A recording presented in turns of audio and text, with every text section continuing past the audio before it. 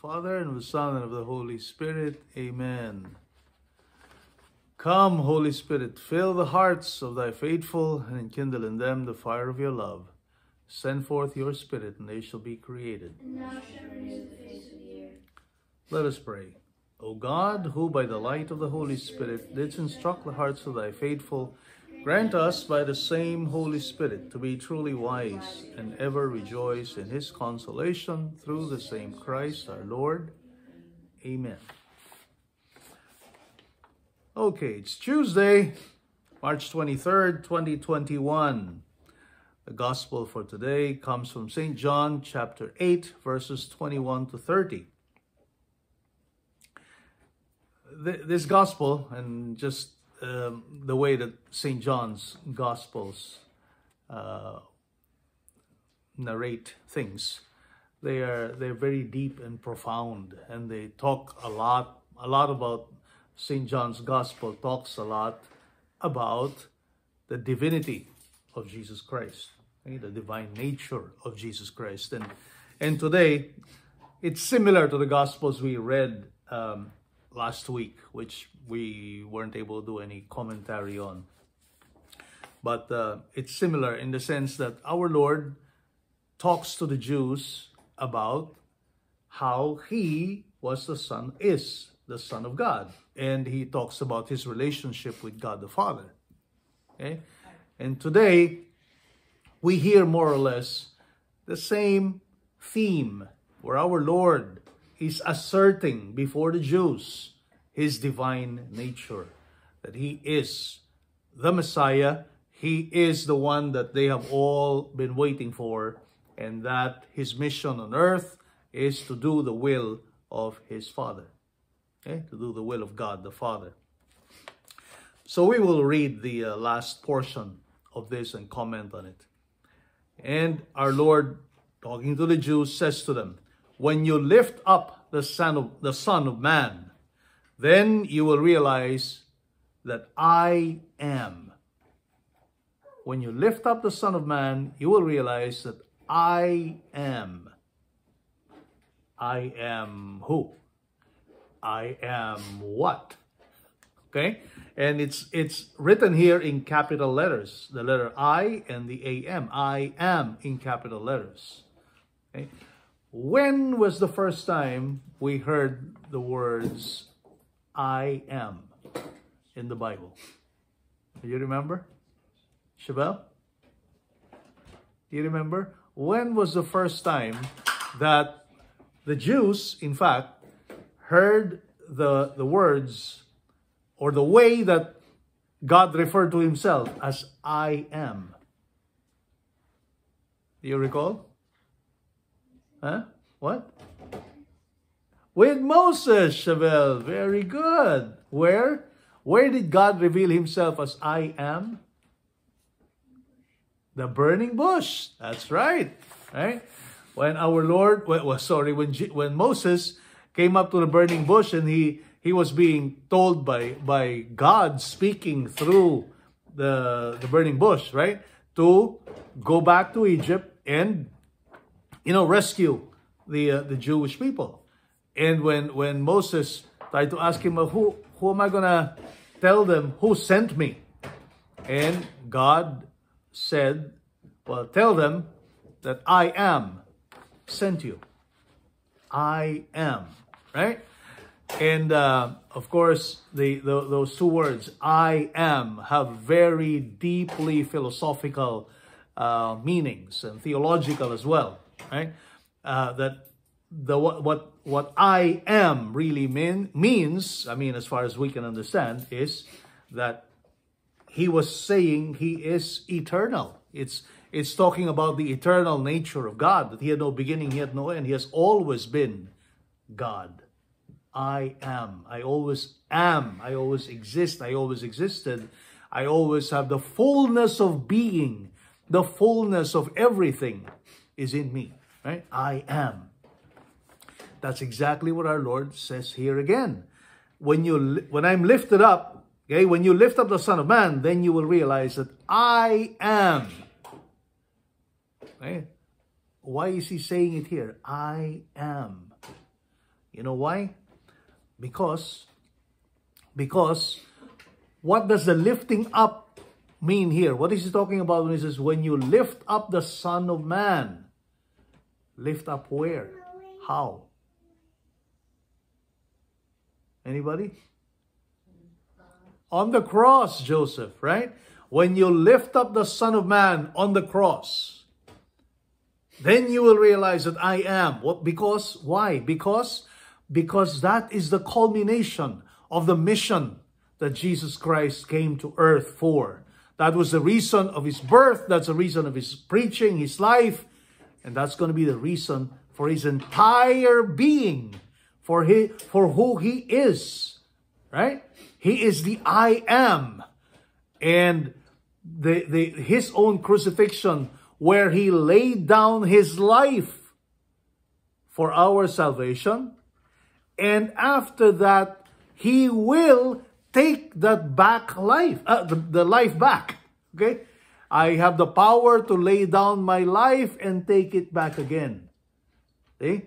So he is talking about the resurrection. And who else has that power? To give up his life, his earthly life, and then take it back and resurrect himself without the intervention of anybody. Okay? Only he who possesses the fullness of life can do that. Only he who created all life to begin with can do that. Okay? So after you raise him up, okay, after the crucifixion, then you will realize that I am actually God that I was the one who spoke to Moses to release you, rescue you from the Egyptians. I am, because I have the power to lay down my life for my friends in order to save you.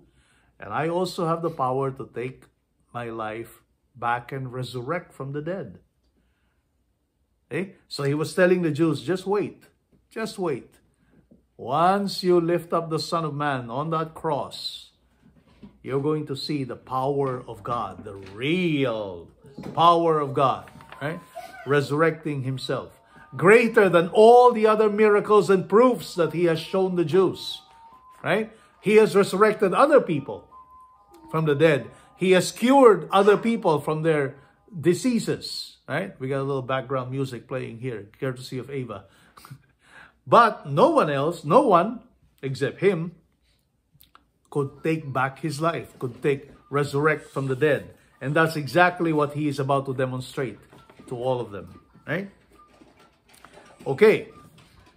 And therefore, through the whole process of the crucifixion, death, and resurrection of Jesus Christ, okay, everything about Jesus would unfold. Everything now about Jesus, the real mystery behind Jesus is now going to be revealed. Okay? Now going to be revealed. Okay, now we continue reading this part of the gospel. It continues by saying, In that I do nothing on my own, but I say only what the Father taught me. I say only what the Father taught me. The one who sent me is with me. Okay? And again, another assertion. Okay? Our Lord is asserting the fact that the one who sent me is with me. That we are actually one. Okay? That the Father and I are one, as he himself said in another gospel. Right? So he is asserting the fact that the Father and he are one. They are one and the same. Okay? He has not left me alone. He has not left me alone. Okay? I'm always with the Father. I'm always in touch with the Father. He, the Father and I are one. He has not left me alone. And why? Why has he not left me alone? Here's the answer. Because I always do what is pleasing to him. Beautiful. The Father has never left me alone because I always do what is pleasing to Him.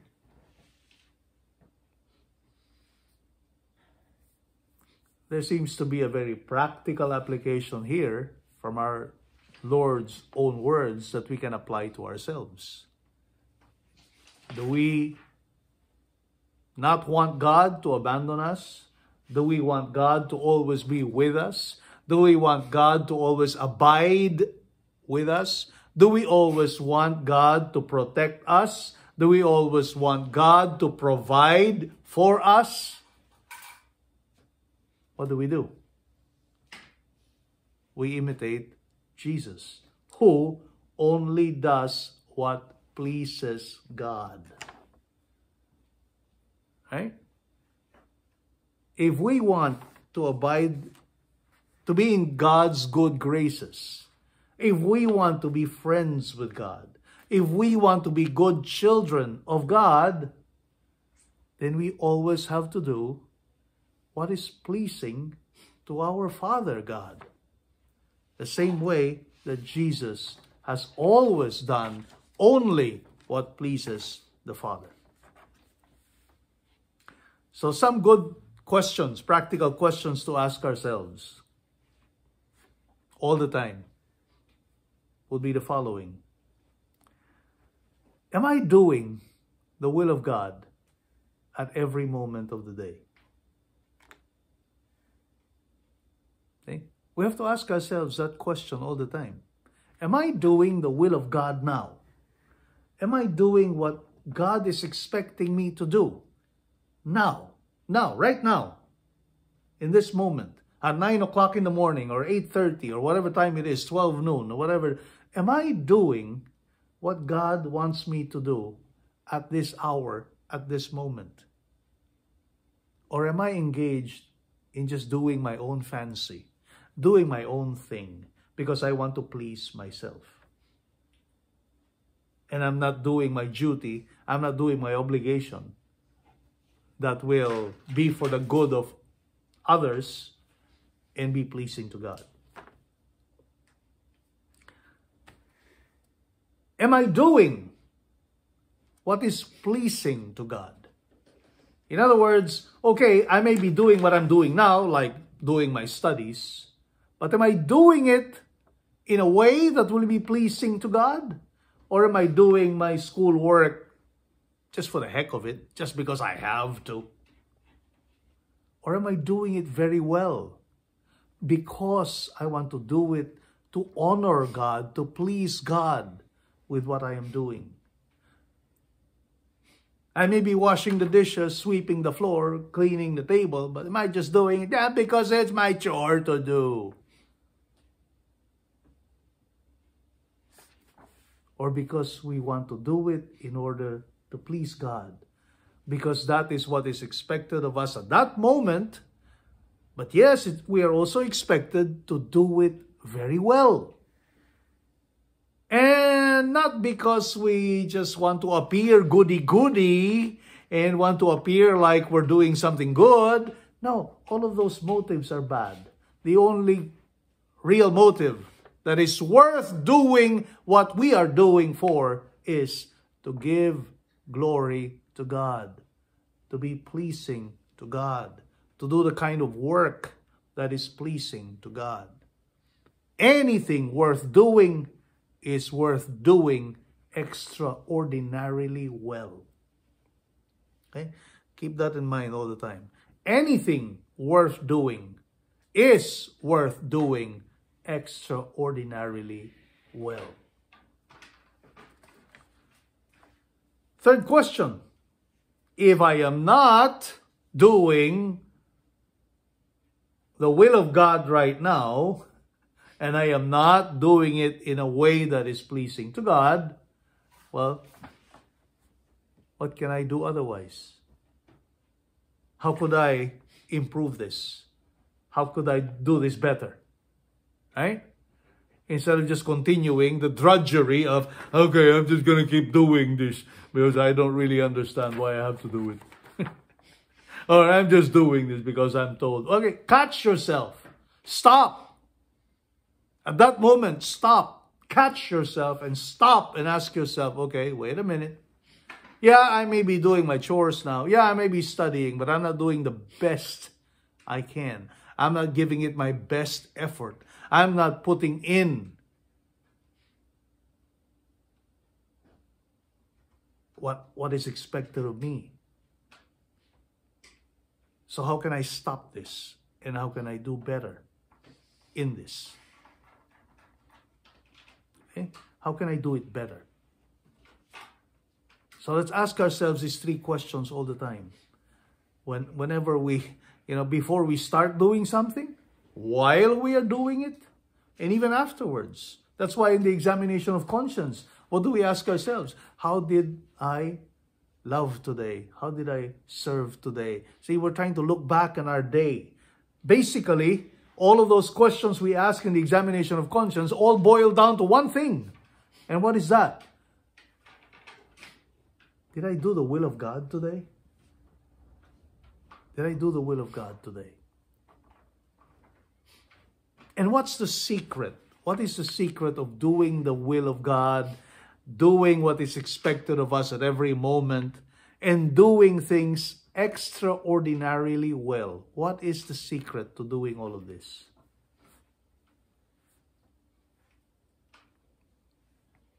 Anybody? Huh? Well, obeying wholeheartedly, yes. Well, obeying your parents is a good way to start, Joe, because your parents are the ones who laid out what you need to do during the day, right? Your parents are like, you know, the ones who provide you your schedule and your and your tools and and and and, and abilities and whatever it is, environment to be able to do the will of God, right? Every day from your chores to your school work to attending mass and doing our uh, uh, pious uh, practices. But there is one key secret in doing the will of God all the time and doing what we need to do very well, extraordinarily well.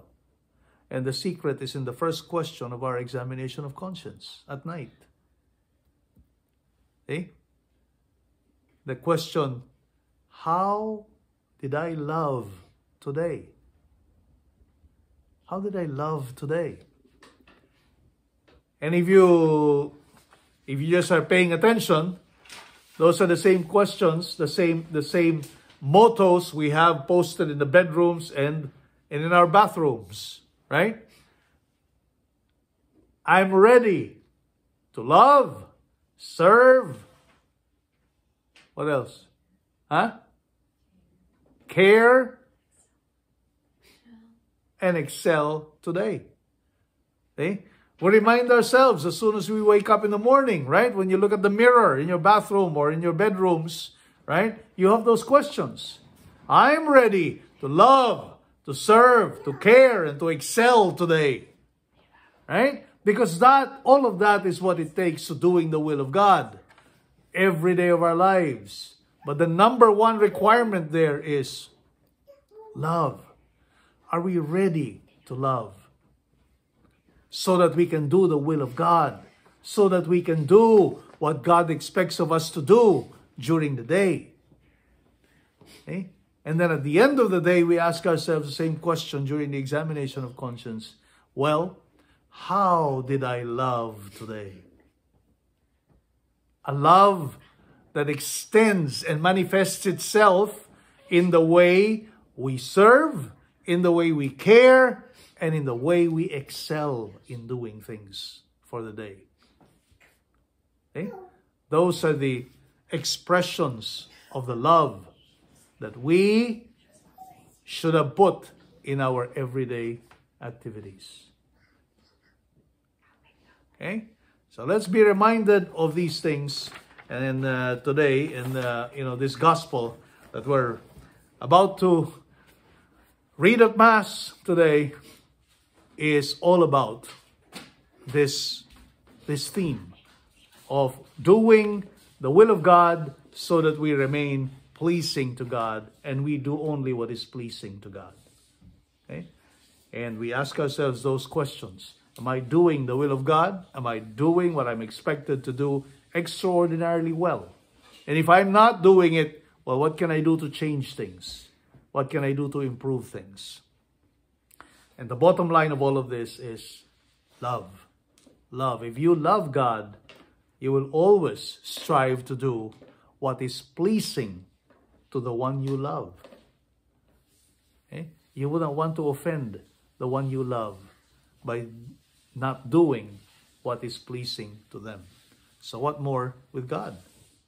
If we want to and sincerely love God, then we will always do what's pleasing in the eyes of God. Okay? That's it. That's it for us. We're ready for Mass. We uh, ended a little earlier. That's good. Okay. Bye bye, everybody. Have a good day. Bye. Where is Ava? We don't have Ava now. Okay.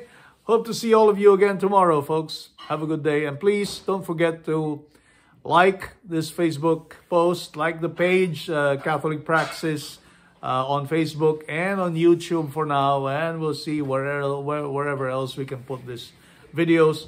Um, a lot of people have expressed their um, interest in this, that they, they're learning a lot, apparently, and we're sharing our own family experience of learning the gospel messages um, for our own lives and how we can put all of the gospel uh, message into practical uh, application in our own lives. So spread the word if you want to help others. See you again tomorrow, hopefully. Bye. Bye. Bye.